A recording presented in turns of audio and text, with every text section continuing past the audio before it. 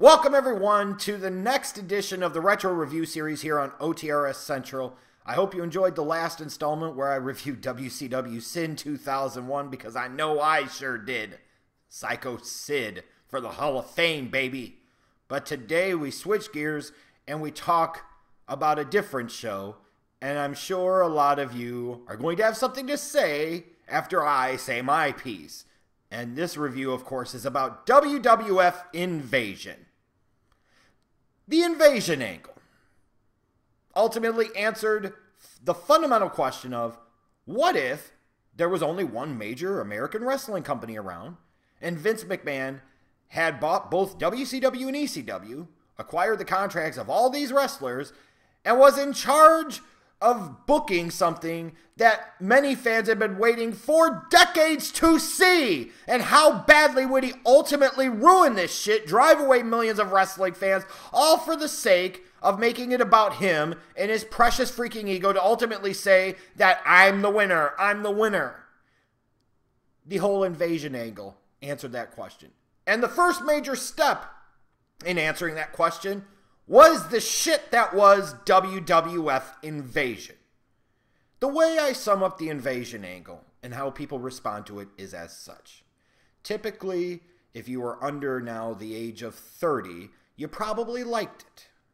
Like my girlfriend Ashley loves the invasion angle, thinks it was glorious.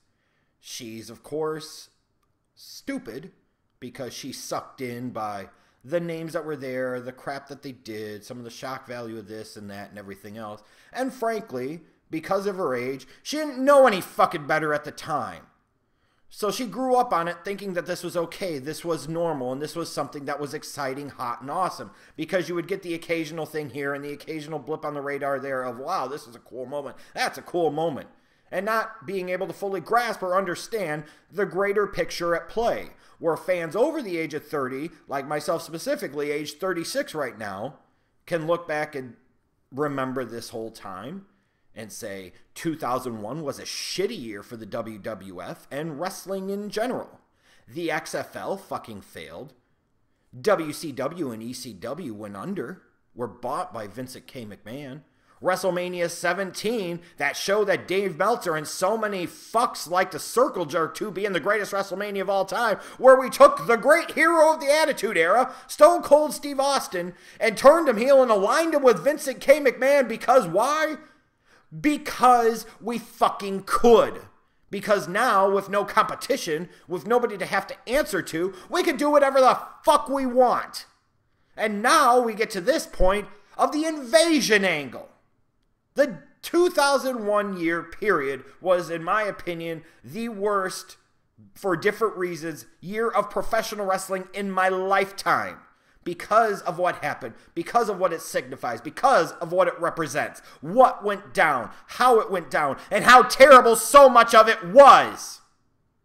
This whole angle was an abortion to so many wrestling fans like myself who actually lived through the Monday Night Wars. We lived through those battles. We grew up wondering for years what would happen if the Crockett territory took on WWF. What would happen if Eric Bischoff and Vince McMahon were able to get their talent in the same building on the same night in the same goddamn ring?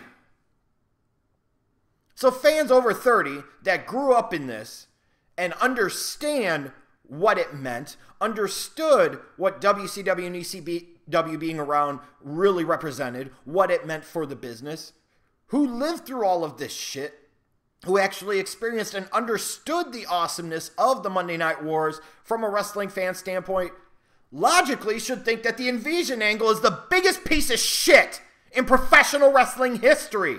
You want to know why? Because it fucking was. What an abortion. And when you look at this show, this show is so stupid on so many different fucking levels.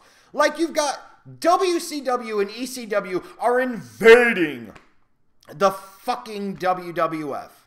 But yet they're wearing WWF merchandise. They're able to come out through the entrance of the WWF. You've got WCW wrestlers calling the matches. Just from that standpoint alone, this shit was stupid. There was no invasion about this whatsoever. It made it look like fake plan bullshit instead of the real hard hitting, edgy type of storyline that this should have fucking been. Then when you take a look back and you see how it ultimately played out because of course it was ultimately going to fucking play out like this. The whole concept of this pay-per-view, even though there really was technically nothing at stake. There were no real stakes here. Does anybody remember anything truly being at play? And even through the night when they're talking about who's winning or who's winning what, did it fucking matter? The answer was no. So it was an entire fuck off show with absolutely no purpose or consequence in the grander scheme of things. Why? Because it's like they got these companies' names, they got the video libraries, they got the wrestlers' contracts, and they look at it and they say, hey, we got a 90, 100 plus guys that don't have a place to work, so let's just throw them in there and figure it out as we fucking go along. That's what the piece of shit this was. And then to sit there and say, oh my god, the last Nitro, Shane McMahon bought WCW. We literally did that shit just so that way you could use that as a plot device to help build towards the Shane versus Vince match at WrestleMania because, again, ultimately, everything had to be about the fucking McMahons. And now, as the invasion angle plays out, even though you've already got Paul Heyman in the midst, he was the owner of ECW. Now, for some particular reason, we throw Stephanie McMahon into the fucking mix, and she's the goddamn owner of ECW. So it is Vince McMahon and his WWF versus Shane McMahon's WCW and Stephanie's ECW. The Alliance! it's McMahon versus the fucking McMahons. And then to top it all off, all the evil shit that Vince McMahon has done over the years, kayfabe and real world, you're trying to push and promote this and book this as if Vince is the hero, if as if the WWF are the good guys. They just closed down WCW and ECW. There is no fucking way in the world, even with the large portion of the WWF loyal audience, that these guys can be the fucking heroes. None. Absolutely none. But even as this whole pay per view plays out, other than a highlight of, let's say, X Pac because of course X-Pac was a professional, even though he's a bitch and blocks people on Twitter. From a ring standpoint, he was actually a professional, knew what the hell he was doing. He embraced being a heel and actually came across like a heel, tried to put Kidman over as the babyface. Imagine fucking that, and it works. You know why it fucking works? Is because at that point in time everybody was pissed off at the WWF. Whether it be for the Austin fucking heel turn, WCW and ECW being fucking wiped from the map, the XFL and all this other bullshit. And now here we go. We're doing an invasion angle where it's the McMahon family and it's all about the McMahon family. And oh, by the way, in the biggest battle of our lives in professional wrestling, let's have WCW go into the fold without the fucking NWO, Sting, Goldberg, Luger, Savage. Think about that for a second. Fucking Hogan, Nash, Hall, nowhere to be found. Goldberg nowhere to be found. Sting nowhere to be fucking found. Luger nowhere to be fucking found. Randy Savage nowhere to be found. Bischoff nowhere to be found. Flair nowhere to be found. So, for the most part, just about every big, massive name that you would want from a kayfabe standpoint to be there to fight the ultimate battle of your lives to get revenge on the WWF all the biggest stars for the most part of WCW of that time were nowhere to be found during this entire fucking story. On so many levels, this was retarded. And even the way the show started, it was retarded. Edge and Christian just have to go over Lance Storm and Mike Awesome. Why? Who fucking knows? What was the purpose of this match? What was really at stake? The answer is absolutely fucking nothing. And frankly, the match was just slightly above mediocre.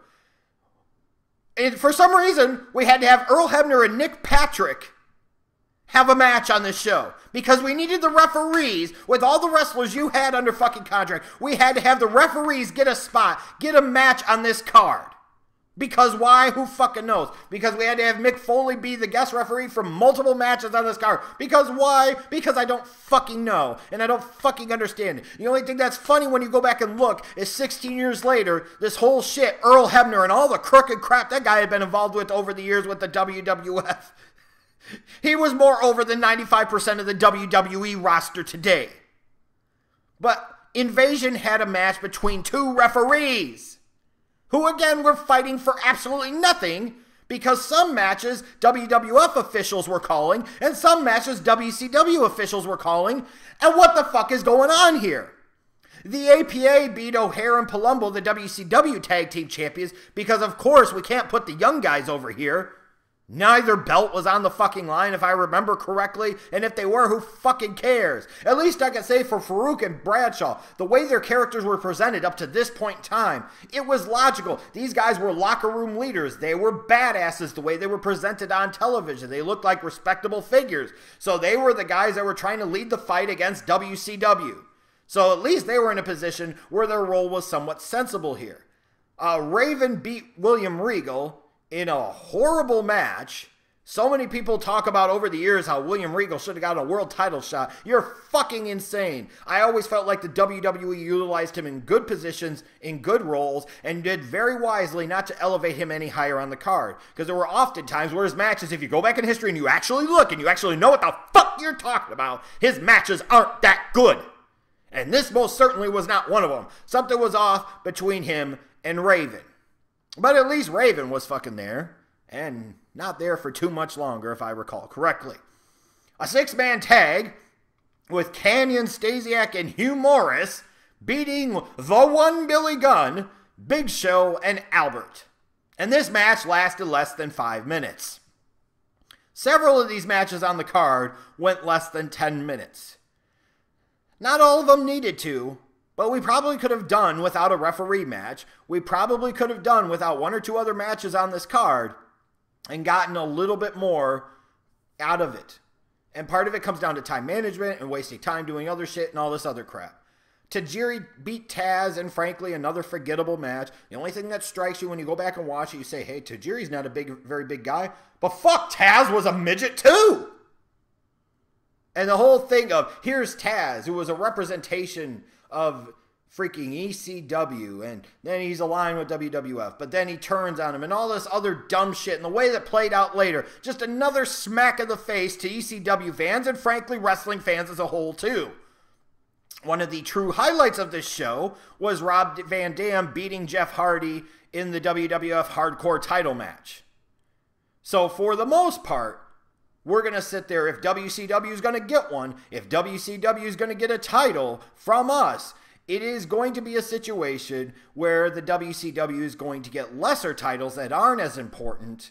And if we do have to flip bigger titles over, we'll figure out some bullshit to get that done too. So I want you to think about that. If I recall correctly, this was the one title match on this freaking card. The only title match on this freaking card. It was the match of the night, but to me, that's not really saying a whole lot.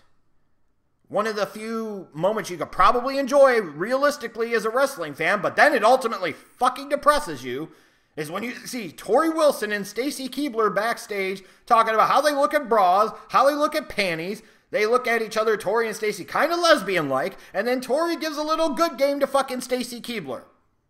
It's good if you're a nasty fucker like me because it could potentially give you spank bank material. And I'm sure for some of you growing up in your teenage years, you found yourself getting funny feelings in your short pants. And you relieved the pressure, if you know what I mean. But then you realize these are the type of women you used to get Trish Stratus, Stacy Keibler, and fucking Torrie Wilson. And in today's WWE, you got guys going googly eye and all giggly tits over fucking people like Becky Lynch and goddamn Paige. Becky Lynch and Paige. In a decade and a half, we went from Trish Stratus, Stacy Keibler, and Torrie Wilson to Becky Lynch and fucking Paige. How sad. In a bra and panties match, where once again we've got Mick Foley as the guest referee, for what reason I know not why. So we incorporate the women here. I guess what fucking ever. But with all these stakes at the line, one of the matches you're going to put out there is a fucking bra and panties match. If that doesn't tell you that Vince didn't give a shit about this and Vince was just fucking with everybody and trolling the entire wrestling fan base, then I don't know what the fuck was. Well, but there's more.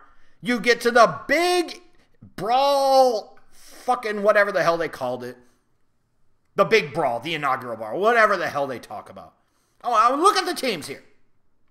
Team WWF has Stone Cold Steve Austin, Kurt Angle, Chris Jericho, and the Brothers of Destruction, Kane and The Undertaker. The Alliance rolls in to this massive main event in this first chance to really truly get their hands on the WWF. And you've got Booker T, DDP, the Dudleys, and fucking Rhino. And then, not to mention, you've got DDP, former multiple time world champion for WCW, one of their bigger names in the brand that you used to do stuff with Karl Malone and Jay Leno with. You bring him in and you have him stalking The Undertaker's fucking wife and trying to kidnap Stone Cold Steve Austin. Again, this is the type of fucking bullshit that I talk about. Is bringing in guys like this and fucking with them and putting them in ridiculously dumb dick situations and being surprised when they fucking fail because you ultimately wanted them to fail because you didn't want to have the fucking guys to begin with. And this whole match is stupid because, of course, ultimately, the Alliance, with the B plus players that they were fucking going into this with against Team WWF, couldn't win clean, couldn't win legit.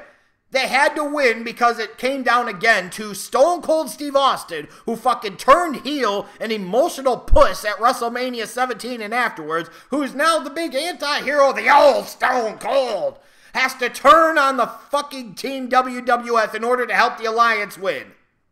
Because this was all planned? Because this was all choreographed? So instead of having somebody. Mm, instead of having somebody on the Alliance's side that was actually big name, like really big, make an appearance here. Whether it was Hall, Hogan, Nash, the NWO, whether it was Sting, whether it was Goldberg, whether it was Flair, whether it was Bischoff, whether it was Luger, Macho Man, whoever the fuck it was. You decide the only way that the Alliance can still go over is because somebody from the WWE has to go over to that side of the fence. It can't because of WCW and ECW on their own merits or because of their own people. It still has to be ultimately because of one of Vince's people. What a fucking joke. So now, as things play out eventually throughout the rest of the invasion angle, you eventually get to Austin and Angle feuding over the fucking WWF title. Rock comes back, if I remember correctly, beats Booker T at SummerSlam for the WCW title. So the WWF has the WCW title. The WCW has the WWF title. And it's all just a bunch of bullshit.